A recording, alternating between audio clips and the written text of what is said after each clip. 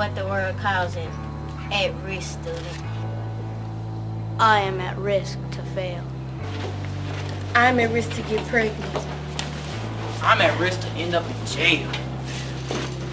At risk to end up on the streets. I am at risk to end up like so many people I know, people I'm close to. We are at-risk students, and we live in places that are not safe, where shots are heard too often. Where kids see drug deals and prostitutes every day. Where dads are in prison and electricity has been cut off. Where people we love are on drugs and we are moving constantly. Where life can be a struggle just to make it to tomorrow. Yes, I may be a statistic, but not the one you think. I will make it.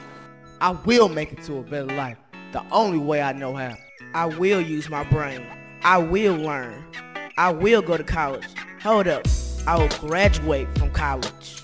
I don't want a job. I've seen my mother work too hard for too long for too little.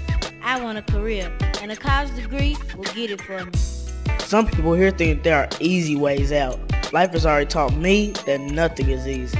Did you know that fewer than 9% of at-risk students will earn a degree by the age of 24? So take your games, your drugs, and all your foolishness and get it away from me. I do not have time for that. I will make it out. It may be hard, but yes, I will be in that 9%. And if enough of us use our heads, we can make it 15 or 20%. But I will make it. I will make it. I will make it. I will make it. I will make it. I will make it. Just try and stop me.